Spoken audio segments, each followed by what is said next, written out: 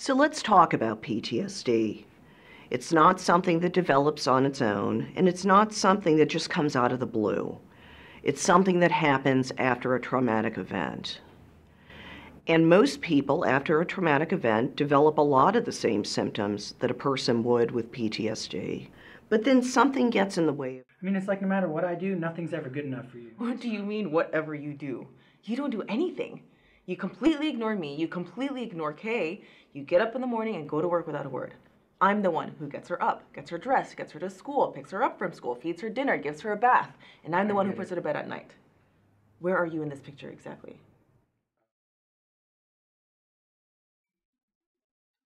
I mean, most people, when they have something bad happen to them, they can take time off and be with family. But for us, it's like we can't let ourselves flip that switch. It's stay numb to it or you can't do your job. That's exactly right, Jason. You know, there's three things that keep people from recovering who have PTSD, and two of them are numbing and avoiding. Let's start with numbing.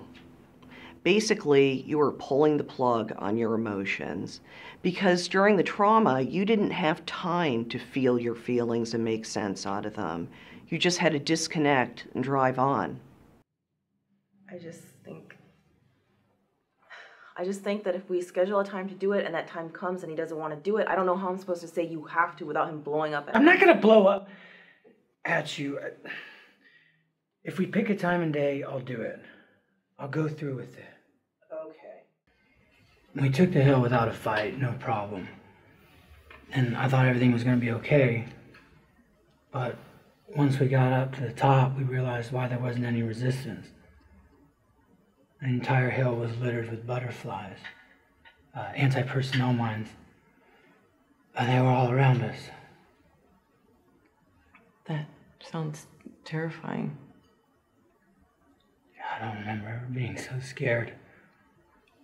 Not just for me, but for my men. I led them up there, you know. It was my job to make sure they were safe. Jones was the first to get hit. He was our minesweeper. And I sent him out. And I saw him get hit. And he was screaming for help. And we couldn't, I couldn't.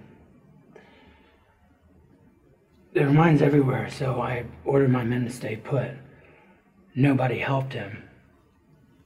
But uh, I should have helped him.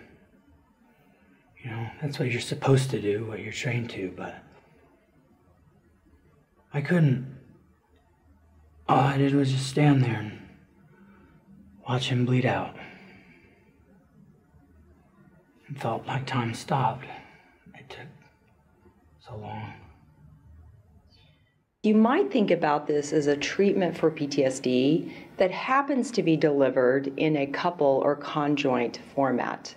It has two primary goals. The first is to improve PTSD symptoms and the common comorbidities that go along with PTSD, like depression, anger, guilt, etc., as well as to enhance the relationship functioning of the dyad. Well, it sounds like the mission was actually a success, even though a man died and another lost his legs.